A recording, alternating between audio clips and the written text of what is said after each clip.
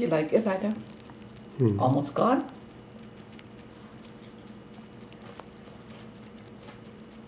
She doesn't care I'm talking.